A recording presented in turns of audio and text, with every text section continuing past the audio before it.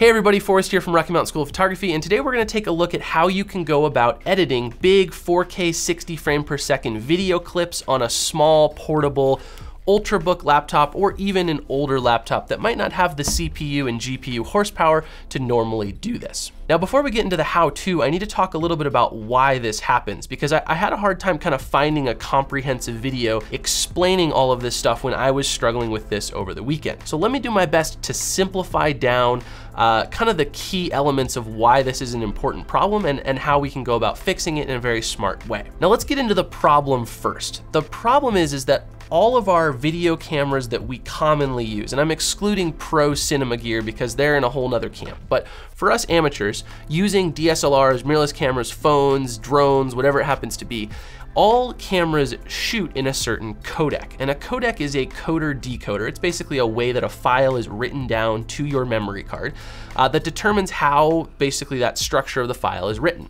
And the codec that most amateur and lower, not lower end, but more um, non-professional, semi-professional amateur equipment shoots is in the H.264 or H.265 codec. Now, before your brains explode, it's very simple. H.264 and H.265 are very, very good for writing files down to a memory card. And what I mean by that is they're a very small, compact codec. You can fit a lot of H.264 or H.265 video clips on a memory card. And therefore, that's why the camera companies choose to have your cameras shoot in that codec.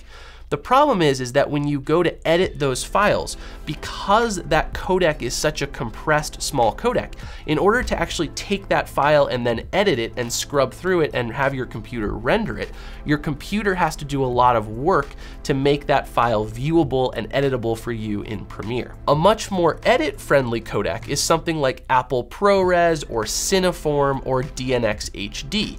Those are three codecs that are great for editing, but they're very big big. And what I mean by that is if you take an H.264 file, say it's 100 megabytes, and you convert it to say DNx HD, all of a sudden you've tripled or quadrupled the file size of that clip. There's no more information in it. It's the same exact video information contained in the file. It's just that your editor has less of a hard time working and interfacing with the DNx HD file versus the H.264 file.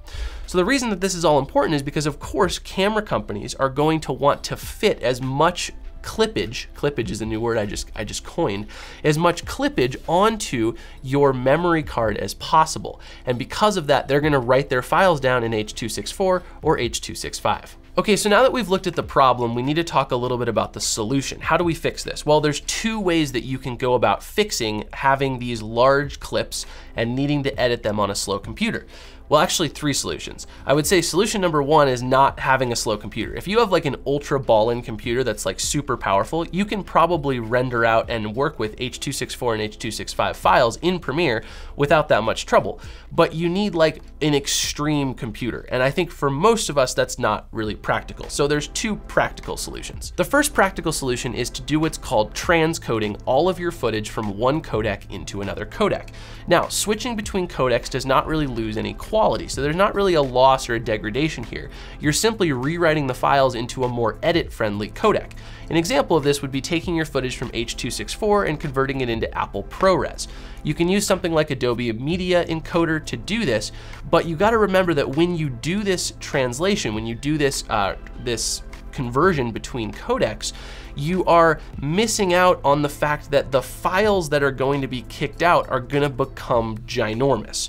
Um, Again, I used the example earlier in the video, but we're talking like a 4x increase in file size, which means if you import a 32 gigabyte card and you convert and transcode all of those files from H.264 into Apple ProRes, your 32 gigs of footage just turned into over 100 gigs of footage, which those of you who've worked with video, you'll know that that's quickly going to go crazy. That's option one.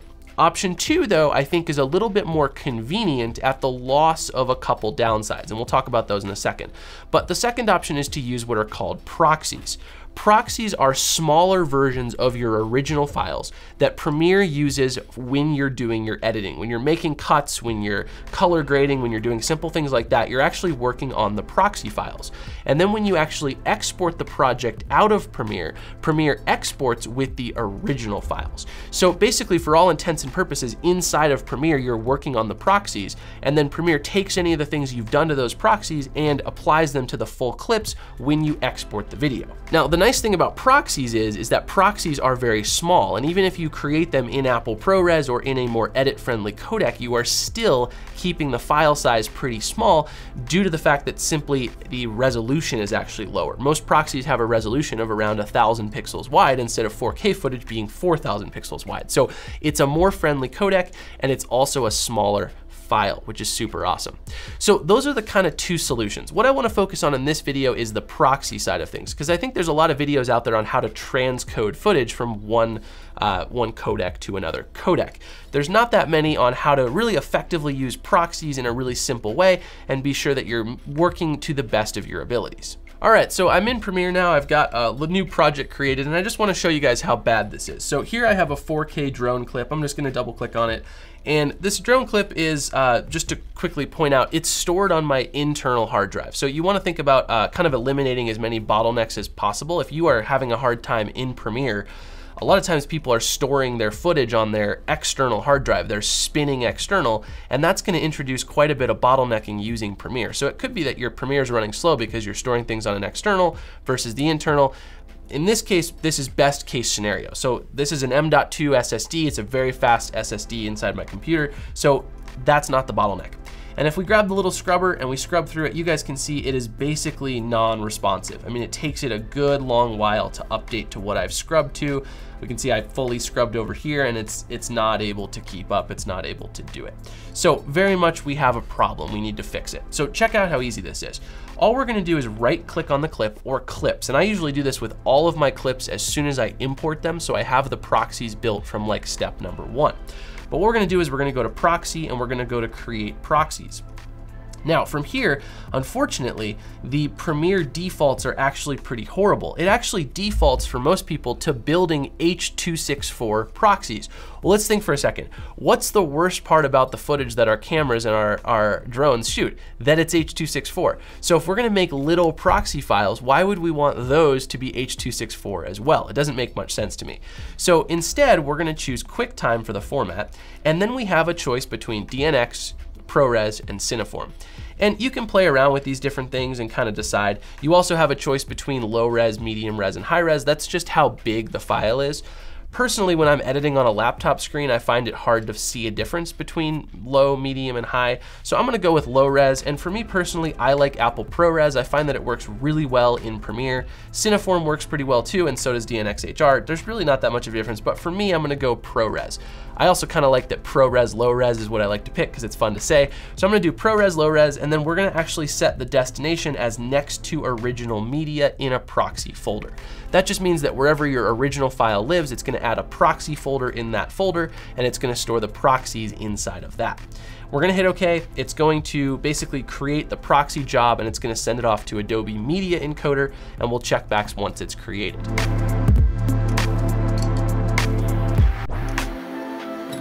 All right, we can see Adobe Media Encoder just finished. Obviously, if you have more than one clip, you'll see all of the clips kind of over here on the upper right-hand corner, and they'll each have their own progress bar. It'll go through and it'll say done next to each one.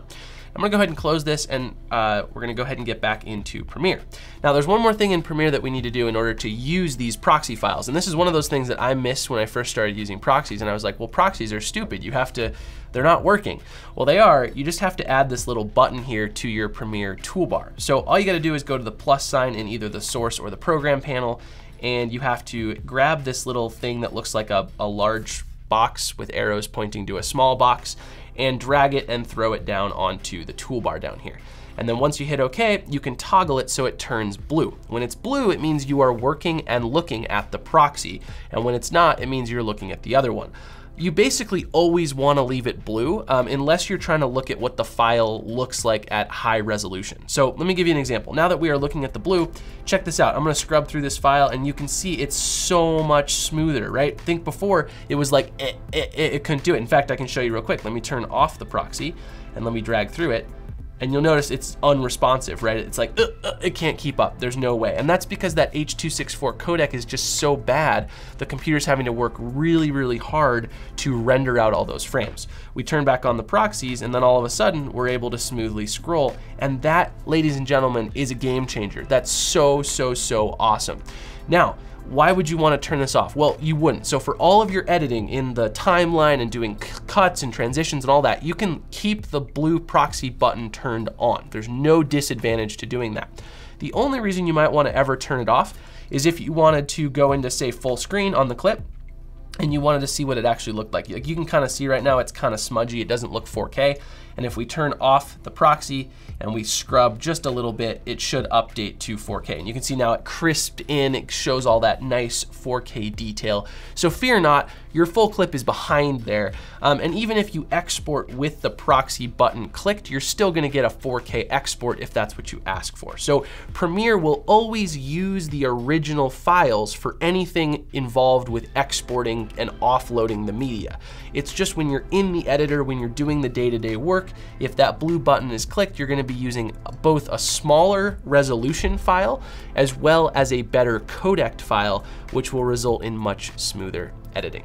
I do wanna remind you guys that the other option is to actually transcode all of your footage from H.264 into Apple ProRes or DNX. You can totally do that. Just keep in mind that all of that footage is going to take up more space on your hard drive by a factor of three or five or something like that. So you definitely can do that. And if you do do that, you don't need to use proxies at all. Your computer can probably handle editing those files in a familiar codec very, very simply and very, very easily.